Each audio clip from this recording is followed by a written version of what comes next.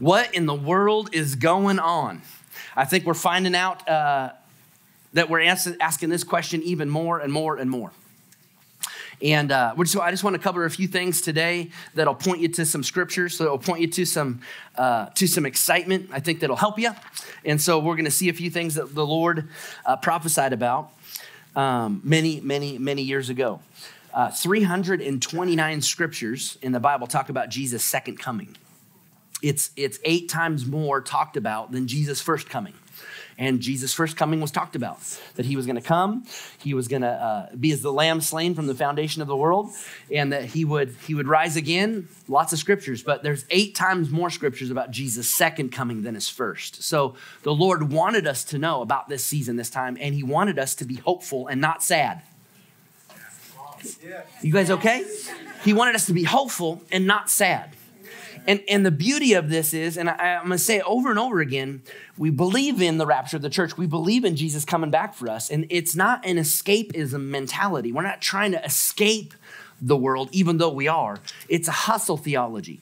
It's a hurry up and get it done. It's an excitement theology so that we can see what's coming. And even though the world gets darker, we can still smile when we're at Walmart. Right? I mean, we can still have joy in our life. Why? Because this is not the end. This isn't it. This is just the beginning for us, right? And this hope and this joy and this excitement that comes on the inside of us really shines out of us, and people want to latch onto that. They want a piece of that. Come on, it brings a whole new meaning. Come on, you want a piece of me? It brings a whole new meaning to that. People do. They want they want what you have when you're excited, joyful, happy. Come on. It, it, if you're happy and people don't know it, could you do us a favor and inform your face? Because this is what the world needs, right? I mean, somebody's got to be happy on aisle three. Somebody. Amen. So he's told us some things so we can be excited about what he's about to do for us. Last week, we spent some time talking about signs in the heavens, about the blood moons that, that he has placed things, stars moving, and, and the blood moon eclipses. He placed these in the heavens to show us that Israel becoming a nation was an absolute critical event in 1948. That that generation will not pass away till all is fulfilled. That means we're at the end. Amen. We saw that Israel becoming a nation was a big part of the uh, what plays out on the world stage. You know that there are tons of prophecies in the Old Testament and some that are referred to in the new that couldn't even come to pass until Israel became a nation. There's, there's, it's talk of people coming against the nation of Israel. And Israel was not a nation for a very long stretch. So you, they could not have been fulfilled until Israel came back into statehood, right? So 48 is a big deal. It means that we can start looking at the Ezekiel prophecies and go, this is, this is happening in our lifetime. This is happening in our lifetime because Israel's now on the world stage again. Amen. We saw that there was 6,000 years of human history that we're at the very end of. The six days of creation, right? The verse that says a day is as a thousand years with the Lord, as a thousand years is a day, right? And, and we're at the end of this 6,000 years of how the Bible lays out creation. We're coming here to the end of the church age, the end of the era. And Jesus is going to come back. We're going to step over into that seventh year of rest for those that love him. Amen? Amen. We're there. We're close. So we spent some time talking about prophetic fulfillments about Israel, about Jerusalem uh, becoming uh, the, the capital again of Israel, the explosion of knowledge and travel. This is all last week. If you didn't hear it, it's on YouTube. the explosion of knowledge and travel and how that was prophesied, what that's going to we're seeing it. We talked even a little bit about AI and how I think I think AI is one of those things that is just speeding up the timeline. When you, when you pay attention to people that understand AI and how it can become sentient, it can come, become self aware, there are, there are quite a few things about AI that I believe are actually going to help the Antichrist rule the world. Uh, I'll read you a few headlines um, that I think are very interesting, uh, just where we're at today. Uh, and then we're going to turn over to Ezekiel. So if you want to find that spot, Ezekiel 38. Uh, headlines just, just in the last few weeks. Eastern Libya authorities say 2,000 dead in a flood, thousands missing. Eastern Libya had a massive rainstorm and they had several, not one, but several dams break and cataclysmic water just washed they don't even know the they don't even know the count yet because they were washed out to sea thousands bible talks about weather events in the end, right? Uh, Morocco earthquake, uh, race against time to reach survivals. His number killed uh, nears 2,900. And then not too long ago, we had that earthquake in Turkey that was thousands and thousands of people. Are you guys paying attention to any of the world stuff? Stuff the Bible talks about. Um, here's, a, here's an AI headline that I saw 90% of online content may be AI generated by 2026. 90% of content may be AI generated by 2026. Remember last week we talked a little bit about artificial intelligence and how it's going to give uh, uh, way to mass disinformation, mass disinformation. Like they can fake videos, they can fake pictures, they can, they can do a lot of different things where it's going to deceive the world. They're going to think they're seeing something real and it's AI generated. Are you guys listening to me? This just tells me that Jesus is close. Because, and I joked about this last week, but this world is not going to turn into a Terminator series. We are not going to turn into the seventh movie of the series. It's not going to happen. Jesus is coming back. But there, there are things heading this direction that lead us to believe, put us in position to understand God is not going to let this whole thing just cataclysmically go into nuclear winter, the whole world. It's not going to happen until we're out of here. That I believe there are going to be, there are going to be nuclear explosions in the tribulation period. The way the Bible describes things, it's it's pretty apparent. I don't believe we're going to see nuclear winter in our lifetime. Are you guys okay? That's good news, right? So we're paying attention to the signs. We're paying attention to the signals. Um, the EU, the, the EU, the European Union says this must be ready for new members by 2030. So they're making adjustments in their plans to bring in more nations into the European Union. Why? It's all prophetic. The Roman Empire rekindled, the, the, that, whole, that whole thing, that whole scene, right, is, is centered around these European countries, and the EU is making way for this to happen. This is just this is headlines just in the last couple of weeks. We got to make way to bring in a whole bunch of new nations by 2030. Uh, here's another one Kremlin threatens to use nuclear weapons, right? Just the threatening of it, the, the, the threatening of it, right? I mean, they're out there. There's lots of headlines, lots of things going on in our world, not for, to scare us, but just for us to pay attention. We're close. Amen. So turn over to Ezekiel and we'll look a little bit at what uh, Ezekiel has to say, the prophet. We know we're in the end times because Israel became a nation. We know we're there because uh, there are prophecies in the Bible that talk about Israel being a nation again at the end. So this is a big deal. And so that them becoming a nation in 48 set us up. So in, in Ezekiel 38, I just want to read uh, a few verses in here so you can see some things um, that fit current events. So, Ezekiel 38, verse 1. Now the word of the Lord came to me, saying, Son of man, set your face against Gog, that's a person, of the land of Magog, the prince of Rosh. Rosh is Russia. Okay? Not a huge leap there, but that's geographically, that's it. So he's saying, Set your face against Gog in the land of Magog, the prince of Rosh. So Magog's bigger than Russia. It incorporates other things, but he's the prince of Rosh uh, Meshech and Tubal and prophesy against him. Now, do we have that? Um, we have that picture of the the biblical names map. Do we have that somewhere? We'll pull that up. Um, so this gives you a picture of a little bit. So Magog, you see Magog is over on the right side in the brown, and it's it's all the stands: the Kazakhstan, the Uzbekistan, the Kyrgyzstan, the Turkmenistan, the Afghanistan, all those. Right? You see that? And then Rosh is red, which comes over the top of that. So you can see how the Gog, Gog is, you know, of Magog and the prince of Rosh. He's he controls, Putin controls Rosh and then over into that area, not all of it into the stands, but up there in the northern part. And they have they have agreements with these countries too. So this is what this is some of the area that this Bible verse is talking about. And it says, prophesy against him, verse 3, and say, Thus says the Lord God, Behold, I am against you, O Gog, of the prince of Rosh, Meshech, and Tubal. I will turn you around, put hooks in your jaws, and lead you out with all your army, horses, horsemen, all splendidly clothed, in great company, with bucklers and shields, all of them handling swords. Persia, Ethiopia, and Libya are with them, all of them with shield and helmet. Now, Persia's Iran, modern day Iran. Per, Iran and Russia are working together consistently. They are exchange of ideas, they are exchange of scientists, their exchange of armament and weaponry. They, they have been doing this incognito and out front for quite a while. So he's This, this, is, this is lining up. This is fitting. The, uh, Iran would not be as far with, with weaponizing uh, uranium as they would have been had Russian scientists not been there to help them. Are you following me? So they're they're in cahoots. You guys know that term cahoots? That's old. That's old. They're they're in on it together, right? Like some people are like, what's cahoots? That's a, that's not even on the map. It isn't. Okay. So so Persia, Ethiopia, Libya are with them. These are other alliances that are that are happening with Russia. Uh, Gomer and all its troops, the house of uh, Togmar, to, Togamar, and from the far north, and all its troops, many people are with you. So there's another, throw that map up again. There's another set of people where it's listing in this. So you got uh, Gomer, which is, um, and, and to, Togarma. This is new to me, so it's, you know, it's hard to say.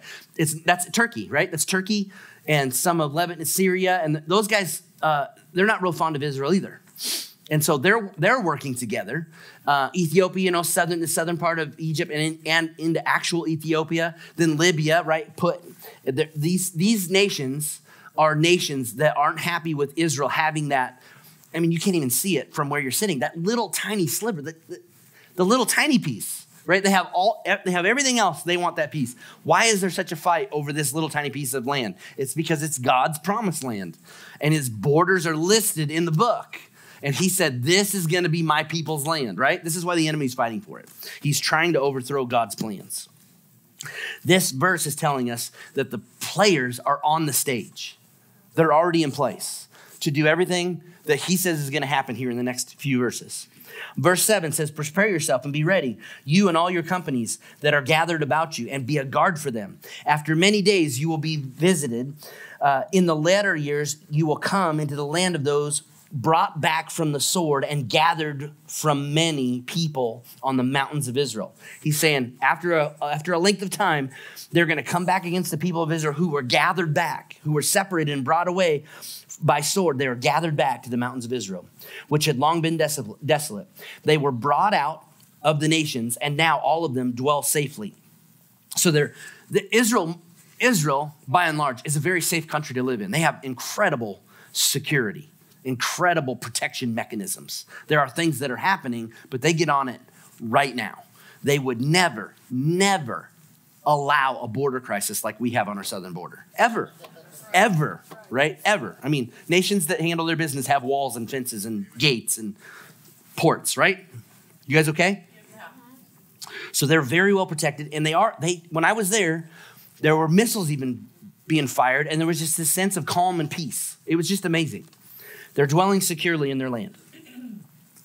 So he says this You will ascend, coming like a storm, covering the land like a cloud, you and all your troops and many peoples with you. So he's saying all these nations, Gog, Magog, Rosh, Tubal, all, all these nations are going to come down like a cloud. They're going to swarm over the hills back down toward Israel. Thus says the Lord God, on that day it shall come to pass that thoughts will arise in your mind, and you will make an evil plan, and you will say, I will go up against the land of the unwalled villages I will go to a peaceful people who dwell safely, all of them dwelling without walls and, ha- and having neither bars nor gates, to take plunder and to take booty, to stretch out your hand against the waste places that are again inhabited, and against the people gathered from the nations who have acquired livestock and goods, who dwell in the midst of the land. They have evil in their hearts because they want the resources of Israel. And Israel is thriving right now.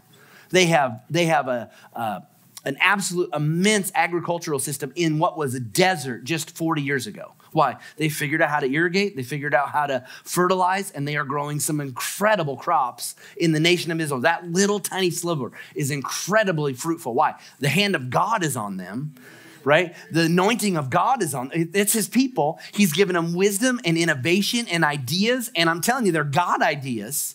And this place is, is blooming in the desert and all around them, not so much.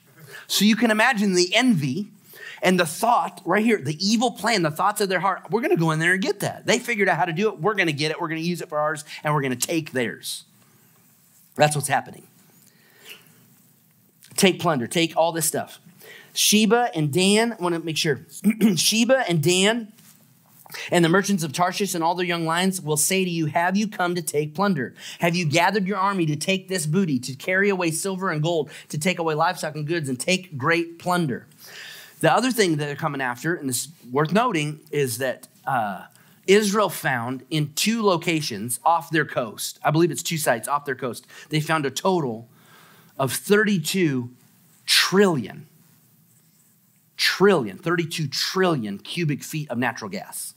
It's the largest deposit anyone's ever found in the country or in the world, ever, in the world, ever. You can imagine why this would be something desirable to a nation outside, right? I mean, with the sanctions on Russia and the Nord Stream pipeline being shut down and all these other things, like they're, they're selling energy to China, they're selling energy to Iran, they're, they're making up the difference. But if they get access by force to 32 trillion cubic feet, it, in, from the naturally speaking, that sets Russia up forever.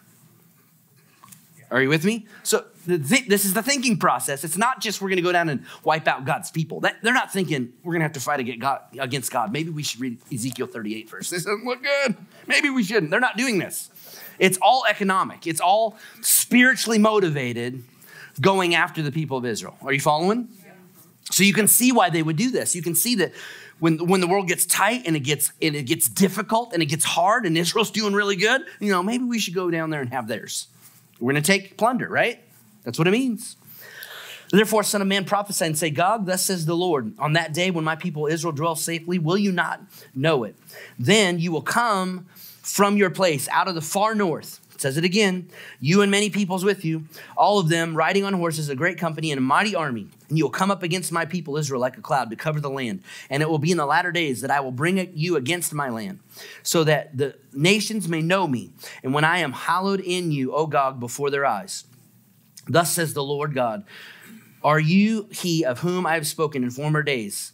My servant, the prophets of Israel, who prophesied for years in those days that I would bring you against them. Now I want to keep reading because it's going to tell us what happens right here in verse 18. And it will come to pass at the same time when Gog comes against the when Gog comes against the land of Israel, says the Lord God, that my fury will show in my face. For in my jealousy and in the fire of my wrath I have spoken, surely in that day there shall be a great earthquake in the land of Israel, so that the fish of the sea and the birds of the air and the beasts of the field and all creeping things that creep on the earth and all men who are on the face of the earth shall shake at my presence. The mountains shall be thrown down, the steep places shall fall, and every every wall shall fall to the ground. I will call for a sword against Gog throughout all my mountains, says the Lord God. Every man's sword will be against his brother and I will bring him to judgment with pestilence and bloodshed. I will rain down on him, on his troops, and on the many peoples who are with him, flooding rain, great hailstones, fire, and brimstone. And I will magnify myself and sanctify myself, and I will be known in the eyes of many nations, and they shall know that I am the Lord. So this, this prophecy is showing us the players on the stage that are already in position, that are actually making alliances as we speak, even more so firming those things up, moving munitions, moving armor, armament, moving people into position to, to go after Israel, to make up the difference for the absolute cost that this Russian war is costing Russia this this the money that that Iran needs to do what they want to do, even though we can we keep giving them money. Dear Jesus, can that please stop? Right? But they they're they're coming down after these resources so that they can they can go after the nation of Israel. And God said when that happens, He's going to rain down hailstones and fire and brimstone and wipe them out. And then there's going to be this cleanup crew that other scriptures point to the beasts of the field and the birds of the air, and they're going to come and clean up the mess that happens after it's all done. So, what does that tell us? That tells us that the more we see these nations get into place and, and, and get into cahoots, do you like that? Get into cahoots together, right? The more we see this, the more the closer we're getting. Because this, this battle right here happens right at when we're leaving, like just before or just after we're leaving, right? Just after the rapture of the church. We, we, we will see either the beginnings of it or not see it at all except see it from heaven this first battle. It's a beginning of the mess that starts in the Middle East where the Antichrist rises up and has peace for three and a half years after this wipeout. And then, and then the great, the, the last half of tribulation happens. Are you with me so far? So these signs are actually really good for us. They're, they should be encouraging to us, right? We're still going to pray. We're still going to honor God. We're still going to help where we can help. But, but what's going on now is prophetic, okay? So let's look at a couple more things. Turn over to Second Timothy. I want to show you this. 2 Timothy chapter 3. A few more things that are going on in the earth that we can pay attention to. I want you to leave hopeful again. I always want you to leave hopeful Come on, we should never be beat down by a message in church, right? Sometimes there's correction that comes and and rebuke and exhortation. There's stuff that happens, it comes, but God's still on the throne. Amen. So in uh, in 2 Timothy 3, we'll start in verse 1. It says this, but know this, that in the last days. Now, this word last is, is a, a Greek word. The word last is a Greek word, and it actually gives every indication uh, of, of the last part is the last destination. The last, it's actually a, um, it's used a lot in this era as a nautical term. It's actually the last port. Like when you sail to that port, there's no more ports. You don't keep going. Like a while ago, they used to think you just you know fall right off the end of the earth, right? This is this is definition of the last port is there's there's not beyond that. You get there, you get your stuff, you come back. And so when he uses this last days, he's telling us this is the end. This is the end of the travels, the end of the road. When you get to this point, there's no there's nothing further. Pay attention to this. This is the last days. Perilous times will come. Perilous is another interesting Greek word because it is it's like fierceness, it's it's uh, pressure, it's it's um, for some it's terror. There's there's a lot of darkness and evil and wickedness happening. Perilous days will come, and this word is only used twice in the New Testament. Right here, perilous times. And then the second time perilous is used is when it's describing uh, the fierceness of the madman of Gadara, the de- demoniac, the guy that's de- demon possessed. One uh, gospel version says one, another gospel version says there is actually two. These guys were full of de- demons.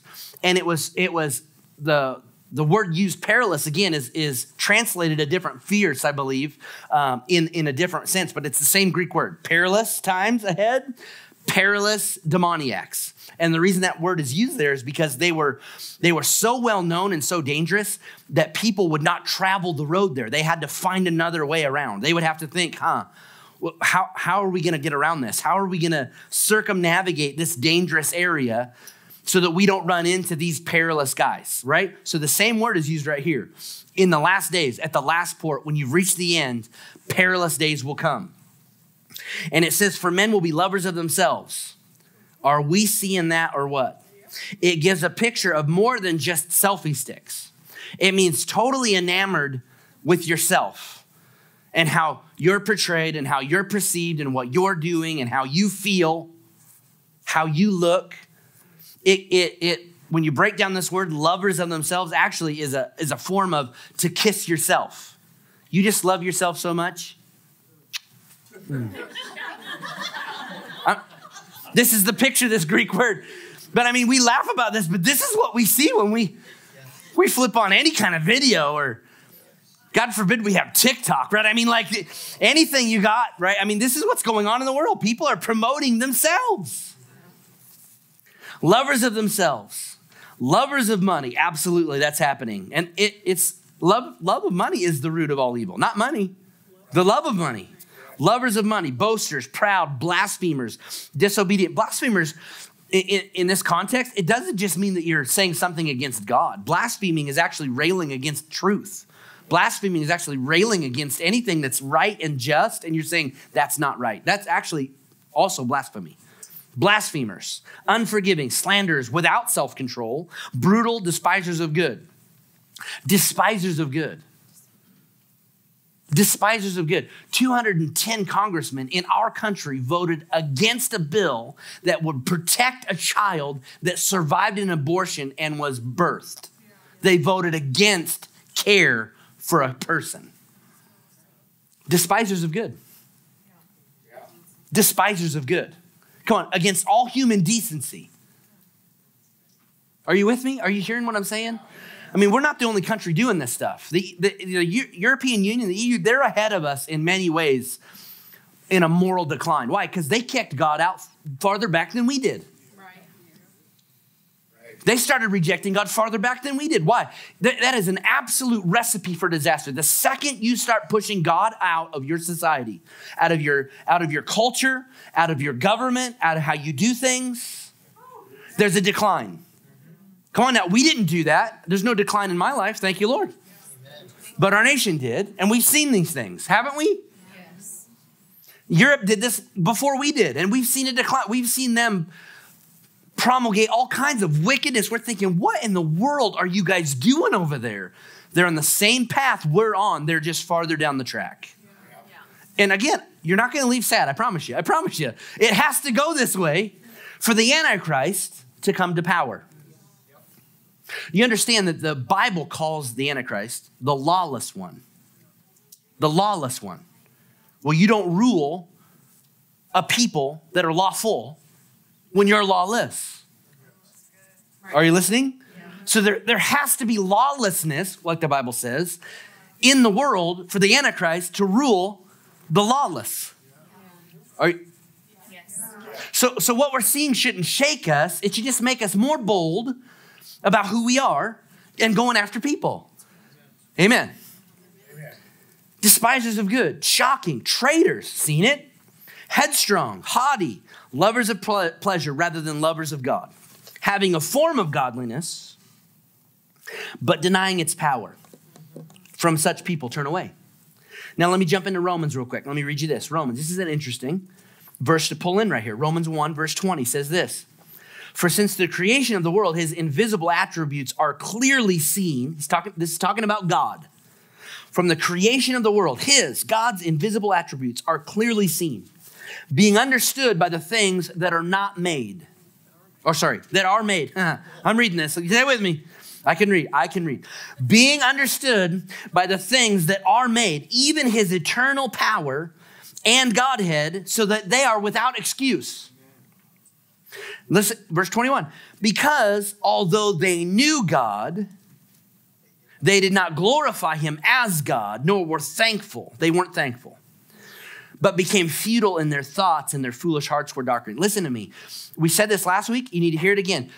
50s, 40s, 50s, 60s. Come on, there was an era there when we, until we got into the 60s and we had a a renaissance, a rebellion, right? Against man. We're still paying for that.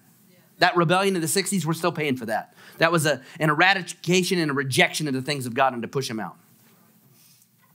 But in the 40s and 50s and early 60s, come on, God was prevalent everywhere. And, the, and it wasn't that everyone was a Christian. I'm not so naive to believe these things. But there was a sense of, in this country, that there is a God and I'm not him. And, and, and, and there were conversations. I mean, come on, you can read books and autobiographies. There was a sense that even the godless would pause for a moment of silence. Even the godless would say one nation under God. Even the godless would take their hat off and pray at a game. Are you following me? Even the godless would recognize I, I'm, I'm messed up. I'm not fixing it, but I'm messed up. Are, are you hearing? And there was a sense there that, that and, and this word knew, it's, it's past tense. They knew God. There's a, it, it's talking into where we're at now, and they're saying there, there was a people that knew God. They knew of him, they knew about him, they knew something's going on with him. They get to a place where they didn't glorify God, nor were thankful, and they became futile in their thoughts. Why? The beginning of wisdom is the fear and the righteousness of God. That's the beginning. The beginning. So when you stop to fear God, you stop that, you become futile in your thoughts. Another version says vain. Why? You're just thinking about you. Thinking about what you can do and how you can get it done and what you can accomplish and who you can step on to get there. Are we seeing that or what? I mean, this has been prevalent for a long time, but now we're seeing it on mass scales. They become futile in their thoughts, their foolish hearts were darkened. We're in an era where people don't even see the right and wrong anymore. They have darkened their hearts. They don't fear God, they don't honor God, they don't even acknowledge he exists. And because of that, even though they think they're smart, the Bible says they're actually foolish in their hearts. And I'm not saying unbelievers are imbeciles. they're some very intelligent people that don't honor God. But the beginning of actual wisdom that produces something is the fear of the Lord. Now, you see this in nations, in Europe, and then over here. But when we started, we honored God.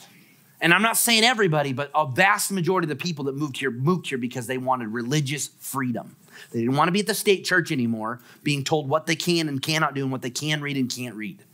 Right? They, that's why there was a mass growth in our country. But we honored God. And, the, and because of that, we became a nation that others feared. We became a nation that was powerful and, and um, wealthy and resourced.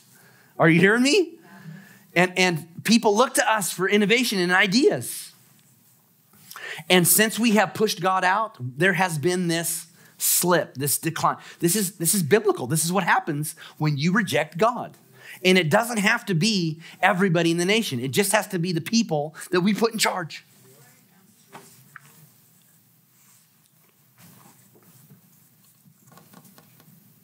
Get to the fun part, preacher. Come on, hurry up. so, if you skip down in, in Timothy, there, we read about what's going to happen. Skip down to the, the, the end of the chapter. 2 Timothy 3 16. It says this All scripture is given by inspiration of God and is profitable for doctrine, for reproof, for correction, for instruction in righteousness that the man of God may be complete, thoroughly equipped for every good work. The, the word of God is bookmarked in this scripture where he's talking about what's going to happen, how it's going to get wild and crazy, and then how we hold on to our sanity all the way through it. It's the word of God. It's the word of God. It's the word of God that's, that's good. It's inspiration from God. It's profitable for doctrine, for reproof, for correction. Reproof is, come on, tweaking you, getting you right. Corrections when you're way wrong and he's getting you back on track. For instruction in righteousness. It's, it's the a word of God that we allow to penetrate our lives and dictate our choices, our actions, what, what we say and do. It's the word of God. That's why he says you got to be a doer of the word of God. That's where the blessing comes. Not a hearer only, a doer. Everybody say a doer. A doer. Come on, you got to be a doer of the word of God. That's how you get through this unscathed with, with a sound mind right? And join your heart. It's not going to come just because you were here this Sunday. It's going to come because you're a doer of the word. You take time to put it in you. You take time to read it and, and understand it. Has anybody heard of Tucker Carlson? The more you hear him talk, the more you he keeps he keeps quoting New Testament scripture in his speeches. It's amazing to me. Why? He's reading it for the first time. He's, he's very open about being raised Episcopal. He's like, we just did church as a, as a ritual, as a routine. But he's now he's like reading the Bible. And he's like, there's so much good stuff in here. I mean, Joe Rogan got caught reading the Bible on his show. Come on, this is these are these are amazing days we're living in right now. It's the word of God that brings correction and reproof and instruction in righteousness. It's the word of God. And that's what it says that the man of God, come on, that's mankind. Ladies, you're not left out. Stay with me may be complete, thoroughly equipped for every good work. Again, thoroughly equipped is another nautical term in the Greek. And we just look at it being just prepared for everything. But he's actually referencing back to the very first verse when he said, the last port, the last place you can get to in a nautical term, the last port. He references back here being thoroughly equipped is a nautical description in the Greek of a boat that is ready for sea. Because you can have a boat with no motor, no rudder, no oars, no sail, how far are you going to go? right? But if you get you get that same boat and you put a 300 horsepower Johnson on the back of it. Come on now. And you got a rudder and you got decking and you got stuff to weather the storm and, and the water and waves will come off. And right, if the motor goes down, you got a mast and a sail and you're, you're thoroughly equipped. You can get to where you're supposed to go.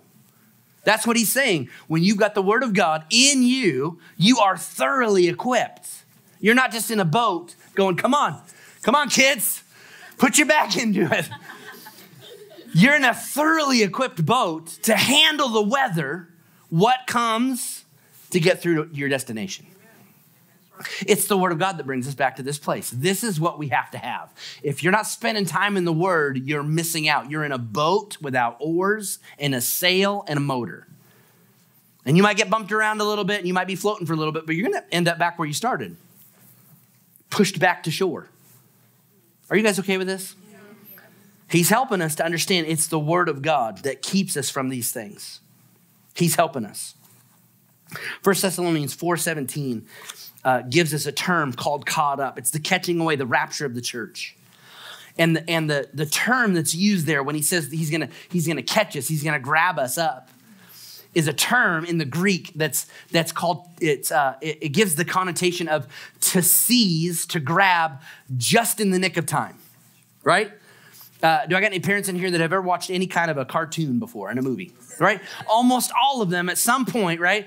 Uh, uh, uh, the, the heroine or the hero, right, is on the precipice. They're on the, they're on the edge. They're on the, the very legend and they're about to get taken out and then something snatches them, something grabs them. They, they fall and they're caught, right? It's this, it's this picture, this idea that right before it looks like we're, we're, we're just, we're all going over the cliff we're caught out of here. And so this gives credence to where we're at right now with Jesus not coming back already. Because I believe he missed a marvelous opportunity this month. I mean, it was just uh, the weather. The weather was not. I mean, but he knows exactly what he's doing, doesn't he? Yes. And and when we keep going and we keep following what he's telling us to do, and we keep putting the word of God in us, so we're thoroughly equipped. Amen. We keep doing that. We keep seeing things in Scripture, and he shows us.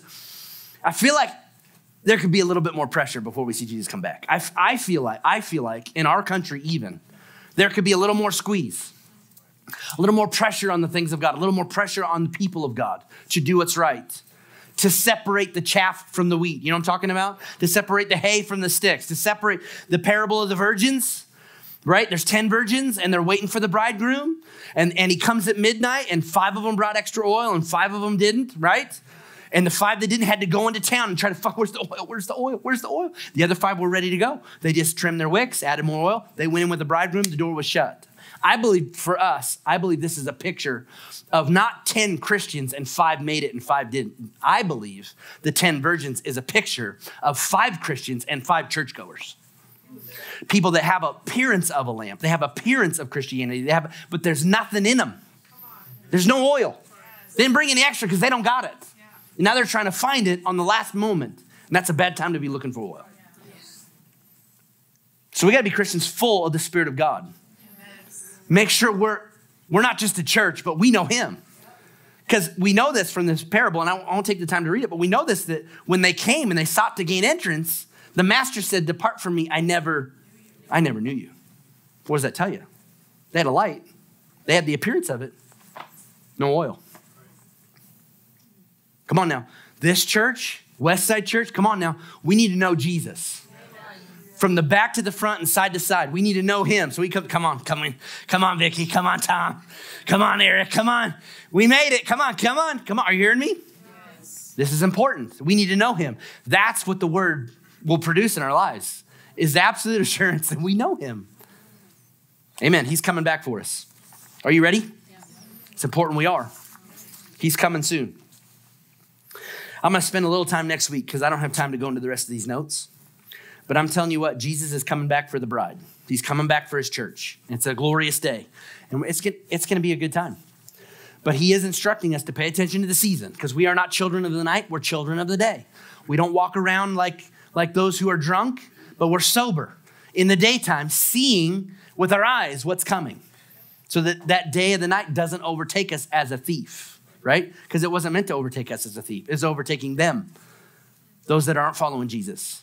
So we're supposed to keep our head up and our eyes open, paying attention. I'm encouraging everyone here come on, develop your relationship with Jesus more than anything else. Your relationship with Him will dictate your decisions, it'll dictate your actions, it'll dictate what you spend your time on. If He's real in your life, you'll spend time. If He's not, you'll find other things to do. If your marriage is important to you, right? You'll spend time with them. Yes? Come on, when you were dating, come on, we couldn't peel you off if we tried. Like every waking moment you had when you were dating your spouse. Every waking moment. You were over there working, eating, maybe, sleeping, maybe, but we're hanging out. I'm hanging out with a girl. Yeah, yeah. We're hanging out. We're having a good time, right? Relationship, you're building. Jesus wants that kind of intimacy with us.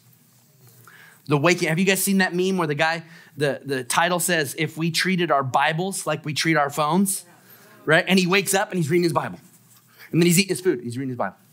He's, he's driving his car, he's reading his Bible. Hmm. I'm not telling you to do that, but I'm saying if we spent that much time in the Bible that we do on our phones, what kind of life would you have? Come on, we're talking about instruction for righteousness and equipped for every good work. Amen. It's the Word of God. It's the Word of God. Let's get into it. Can we do it? Let's pray. Father, thank you for helping us. Thank you for giving us wisdom and insight and excitement that Jesus is coming back. We're so grateful. Thank you for choosing us for this time. that we get to live in this hour to shine brightly for you, to bring people into the saving knowledge of Jesus, to preach the gospel, to set at liberty the captives, to cast out demons, to speak with new tongues. You called us for this hour, this time, this season. Lord, we want all of it that you have for us. We want to experience all of it. Lead us, guide us, direct us, help us to hear from you like never before, to be in your word like never before, to see things we've never seen before, to walk things out. Thank you, Father. Thank you for giving, wisdom, giving us wisdom and grace to recognize the season and the time and to know you better than we ever have. Thank you, Lord. Thank you, Lord. If you're here this morning and you haven't made Jesus Lord of your life, this is the single greatest decision you'll make in your life. Single greatest. Not marrying your spouse, not having your kids, not picking a job. The single greatest decision you will make in your life is saying yes to Jesus. He is Savior, He is Lord. I'm telling you right now, He is the Son of the living God. He came to the earth, He put Himself in our place so that we could be right with God. He died for our sins, He descended into hell for three days and three nights. He paid the price and God raised him from the dead. And, and when God raised Jesus from the dead, he raised every single person that would say yes to him alive in Christ. So you have a choice this morning to say yes to him or no to him. This isn't a hang out in the middle and you can just be in limbo. This is you saying yes to Jesus. I will acknowledge you as my Savior and my Lord, or you're saying no, I am not acknowledging you as my Savior and my Lord. There's no gray area in this decision. So I'm giving you a chance this morning. If you're here this morning and you have not said yes to Jesus, you are not sure that you know him. You're not sure when he comes back that he would look at you and call your name and say, Enter into the joy of your Lord. I know you. Come in. If you're not sure of that, you need to be sure. And there's only one way to be sure, and that's to follow the, the path Scripture lays out, to acknowledge in your heart and your life, to believe with every fiber of your being. He is the Son of God. He did come to the earth. He did die for my sins, and God did raise him from the dead. And you're going to believe that in your heart and you're going to confess it with your mouth. That's the only way in. That's it. He made it simple, but he also made it profound. So if you're here this morning, you haven't prayed that prayer, or you know I need to recommit, I need to rededicate my heart to the Lord, I need to be right with Him. I want to hear, come in, I know you from Jesus. If that's you this morning, we're going to all pray this prayer together. All of us, we're going to pray a prayer together. The whole church. But if you want to be included in this prayer, while we pray it, you pray it out of your heart. If you want to be included in that, I'm asking you between you and me and Jesus to slip your hand up where, you, where I can see it. Nobody's looking around. There's head bows, and I, just between you, me, and Jesus. I want to see it. You want to pray that prayer? I see that hand. Anybody else? You want to pray that prayer? Or you can cut your eyes up at me if I can see them. You want to pray that prayer? Thank you, Lord. I'm looking around. Thank you, Jesus. Praise you, Lord. Praise you, Lord. God is good all the time, calling on you, calling your heart. Thank you, Lord. I see those eyes. Anybody else? Come on, let's pray this prayer together. Let's mean it from our heart. Can we do that? Pray this prayer after me. Father God, I believe Jesus is your is Lord. And he's your son. And he came to this earth and he died for my sins and you raised him from the dead. Now, Jesus, I'm asking you, come into my life and be my Savior and my Lord. Forgive me of all my sin. Make me brand new. Fill me with your peace, with your joy, and with the Holy Spirit. In your name I pray. Amen. Thank you, Lord. God is good.